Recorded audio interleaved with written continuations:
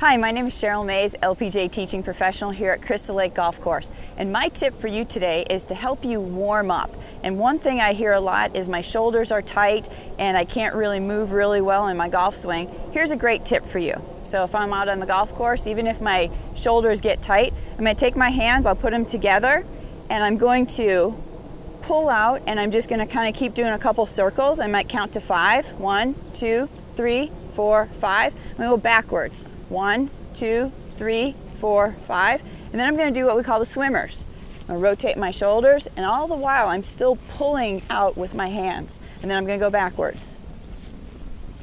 Five. And then I'm going to go from side to side. That's a great drill to help loosen up your shoulders. I hope you try that next time you feel tight on the golf course in that shoulder area. And remember, if you need a golf lesson, come see me, Sheryl Maize.